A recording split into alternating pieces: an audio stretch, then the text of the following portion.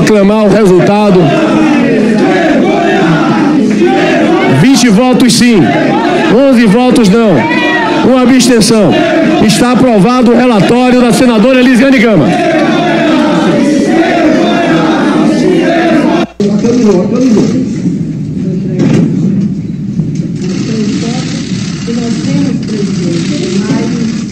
sete telas, na verdade, que eu formalmente chegará ao senhor, né? Que é o conjunto, na verdade, de povos que vieram pelo digital. De informações também Entre eles, por exemplo, o advogado Saad, que a gente pegou esse, essa informação mais referente a ele já na reta final, que a linha de investigação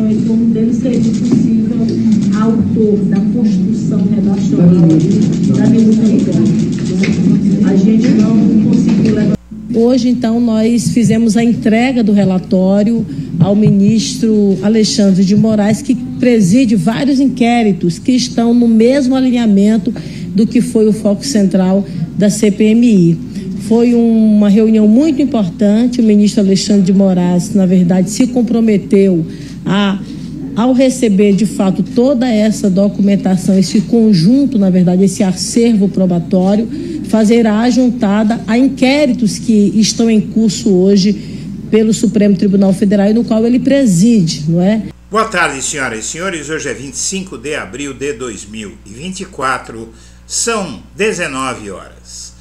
Comissão dos Estados Unidos divulgou ações de Moraes contra o ex e acusou o STF de censura sob informações e manipulações políticas de Elon Musk, o bilionário que atacou o Poder Judiciário brasileiro recentemente, inclusive o presidente Lula, o governo brasileiro, as instituições brasileiras e ameaçou, inclusive, descumprir ordens do Poder Judiciário no que diz respeito à suspensão de perfis que estavam proibidos de veicular uh, ofensas, ataques e ameaças, inclusive, entre inclusive os perfis bloqueados, há casos de pedofilia, há muita coisa pesada ali e o Elon Musk ele não quer não queria e continua não querendo, provavelmente,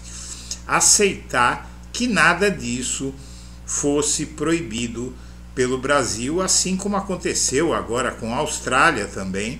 Ele veiculou um atentado terrorista na Austrália e, sob ordem do governo australiano de parar de veicular aquilo, ele se recusou a cumprir a ordem do governo australiano e veio com a mesma cantilena de novo, de liberdade, de censura, que a Austrália também seria uma ditadura, etc, etc, etc. E isso tudo culminou em uma comissão dos Estados Unidos, comandada por um aliado dele, um ex-lutador chamado Jim Jordan, que é deputado hoje nos Estados Unidos e que protagoniza uma luta política com um outro parlamentar norte-americano que o persegue porque esse sujeito, esse Jim Jordan, está envolvido nos atos golpistas de 6 de janeiro de 2021 lá nos Estados Unidos. Então, Estados Unidos e Brasil se conectam com tentativas de golpe de Estado lá e aqui. Antes de prosseguir, eu quero pedir a você que acompanha o blog da cidadania que se inscreva no canal. Curte e compartilhe os nossos vídeos, acione o sininho das notificações, que assim você nos ajuda a fazer o nosso trabalho. Veja bem que tudo isso acontecendo, a senadora Elisiane Gama lidera uma missão aos Estados Unidos para rebater os ataques que foram feitos nessa comissão dos Estados Unidos, do parlamento americano, do Capitólio, na Câmara dos Deputados, e estamos falando de Elisiane Gama. A Elisiane Gama, a relatora da CPI dos atos golpistas do 8 de janeiro. Mas vamos entender um pouquinho mais toda essa história. Após o ataque da tal Comissão de Segurança dos, a Comissão de Assuntos Jurídicos dos Estados Unidos ter atacado o Brasil a mando de Elon Musk, essa mesma comissão convocou o Musk para depor lá e para falar mais, eh, inflar mais eh, o, as acusações dele contra o Brasil, contra o Alexandre de Moraes. E o Musk já, evidentemente, aceitou, isso é algo que ele pediu para que acontecesse, e ele vai lá fazer politicagem. Mas o que está acontecendo é que de uns dias para cá, o Elon Musk calou a boca. Ele aos poucos foi se calando e uma ação da Elisiane Gama pode estar por trás de tudo isso. Os senadores bolsonaristas uh, vão aos Estados Unidos apoiar, bajular, na verdade, não é? bajular o Elon Musk. Uh, senadores bolsonaristas querem criar uma comissão externa para ir aos Estados Unidos acompanhar investigações sobre denúncia de Elon Musk contra Moraes. É, é algo que chega a ser um pouco bizarro, não é? Porque os senadores brasileiros estão apostando nos Estados Unidos para tentar produzir algum efeito interno aqui no Brasil e com isso constranger o poder judiciário brasileiro.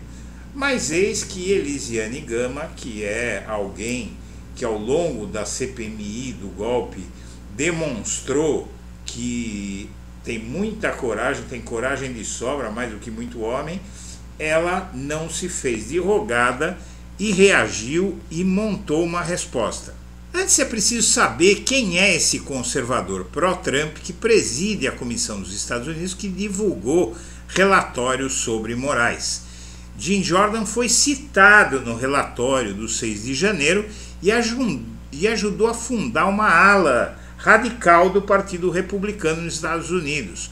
O presidente da comissão responsável pela publicação do relatório com decisões sigilosas do ministro Alexandre Moraes, do STF, é aliado de Donald Trump e se define como um dos membros mais conservadores do Congresso dos Estados Unidos. Jim Jordan é um deputado do Partido Republicano e preside a Comissão de Judiciário do Congresso. O grupo divulgou na última quarta-feira um documento que afirma haver censura no Brasil e que incluía despachos que estavam sob sigilo no Supremo e no TSE. A comissão foi criada em 1813 e é responsável por supervisionar o Departamento de Justiça americano e avaliar propostas legislativas. Jordan chefia a comissão desde o ano passado. Por quê? Porque nos Estados Unidos vige basicamente a mesma situação que no Brasil. Até nisso nós estamos parecidos com os Estados Unidos. Na Câmara, o, a direita e a extrema direita, inclusive, tem maioria. E no Senado, a maioria é do governo federal, do presidente Joe Biden, no caso. Bom, eis que a Elisiane Gama decidiu reagir. Ah, uma comitiva brasileira vai aos Estados Unidos discutir os ataques à democracia e crise entre Musk e Moraes. A viagem tem como tema central as invasões ao Capitólio e as sedes dos três poderes ocorridos, eh, respectivamente, em 2021 e 2023. Embates entre o dono da Tesla e do X, Elon Musk, e o ministro do STF, Alexandre de Moraes, também serão abordados. A comissão vai ser liderada pela Elisiane Gama, senadora pelo PSD do Maranhão. Uma comitiva de parlamentares brasileiros vai na próxima semana ao Congresso dos Estados Unidos para discutir os ataques antidemocráticos dos dois países a crise entre o bilionário da Tesla e do X, Elon Musk e do ministro do Supremo Alexandre de Moraes vão ser discutidas também, e a delegação brasileira envolvida na investigação dos ataques às sedes dos três poderes em 8 de janeiro de 2023 vai se encontrar com o deputado democrata Jamie Raskin. O Raskin ele foi líder da acusação no segundo processo de impeachment contra Donald Trump, integrante do comitê responsável por investigar os trumpistas que tentaram dar um golpe nos Estados Unidos em 6 de janeiro de 2021.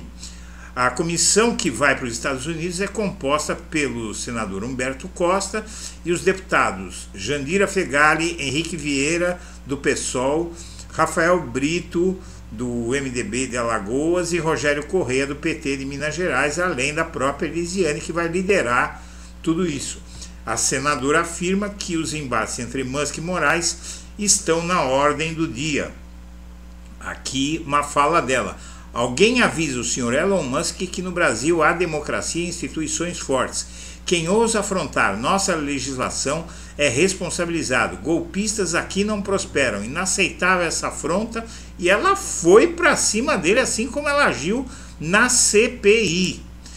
E, na verdade, esse Jamie Raskin é também um parlamentar muito combatido, é, combativo, não é? E ele tem ido para cima desse homólogo golpista aliado Donald Trump.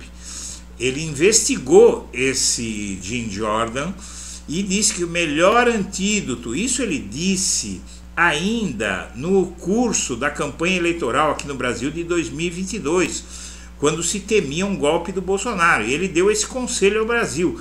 Diz que o melhor antídoto contra golpes era expor os planos, disse o deputado que investiga os atos de Trump, e essa matéria é de 2022. Para o democrata Jamie Raskin, o Congresso brasileiro deveria fazer audiência sobre riscos à democracia. Há cerca de dois meses da eleição presidencial, o Congresso brasileiro deveria fazer audiência sobre o risco de golpe à democracia como forma de avaliar ameaças ao pleito, sugeriu o Jamie Raskin. O melhor antídoto a um golpe é expor os planos antecipadamente antes tivéssemos feito o que ele recomendou. Aqui tem toda uma entrevista dele à Folha dizendo que a gente aqui corria risco. Na época, inclusive, ele disse nessa entrevista que o Brasil corria riscos. E o que impressiona em toda essa história foi é, a força e a decisão da Elisiane Gama, porque ela liderou uma reação que vai jogar água na fervura do Elon Musk, do Bolsonaro, do, do Donald Trump e do tal Jim Jordan. Porque ao mesmo tempo que eles vão estar tá falando uma coisa numa sala, ela vai estar tá falando a versão verdadeira, a versão dos fatos reais aqui no Brasil. Então isso realmente vai ser um momento importante. É uma pena que esse debate foi parar no parlamento americano, mas na verdade uma vitória a Elisiane Gama já conseguiu, porque ao não se encolher, ela aumentou o tamanho do problema para o Elon Musk, que está com problemas bastante sérios. Veja bem, aqui você tem uma matéria uh, da Veja que mostra mais um dia na vida de Elon Musk. Ações da Tesla caem e carros encalham. E na verdade, olha, matéria de ontem, não é? Uh, ele ainda se envolve em bate-boca com o governo australiano, com o governo brasileiro. Torcida contra é enorme por causa da aura de arrogância que esse sujeito criou não é? E aqui você vê uh, uma matéria do Meio e Mensagem, que é um site muito ligado à mídia brasileira uh, e, sobretudo, ao mercado de publicidade, que diz o seguinte: Elon Musk versus STF. Quais os efeitos da polêmica para os anunciantes? Profissionais de mídia avaliam a delicada situação das marcas que utilizam o X como plataforma de conexão com seu público-alvo. Na terça-feira, a Comissão de Segurança Pública e Combate ao Crime Organizado da Câmara dos Deputados aprovou um convite em caráter de urgência para que o bilionário Elon Musk preste esclarecimentos a respeito de denúncias de supostos abusos de autoridade que o proprietário do X alega haver na justiça brasileira. A medida é mais um desdobramento de uma briga que vem acontecendo desde o início de abril. E aí, isso tudo para os anunciantes é algo que não interessa. Os anunciantes não querem se ver ligados a uma rede que causa tanta polêmica, que a, agride nações, até porque isso é ruim para os negócios dessas pessoas. O deputado Jamie Raskin vai ter uma, mais uma oportunidade de ir para cima do Jim Jordan.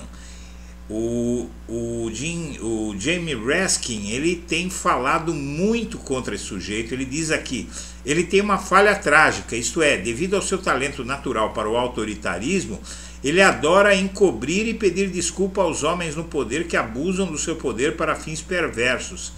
Ele fez isso com um abusador sexual do time de luta livre em Ohio.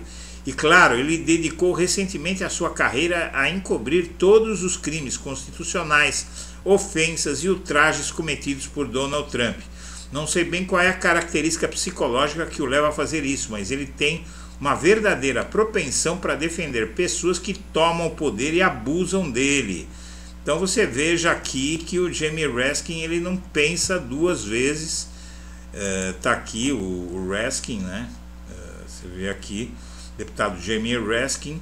E essa briga vai render, minha amiga, meu amigo.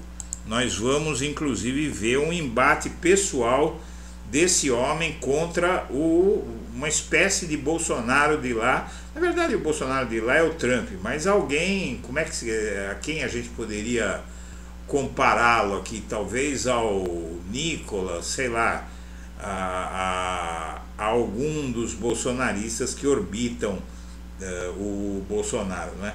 Senhoras e senhores, eu agradeço a atenção e deixo meu abraço para todo mundo.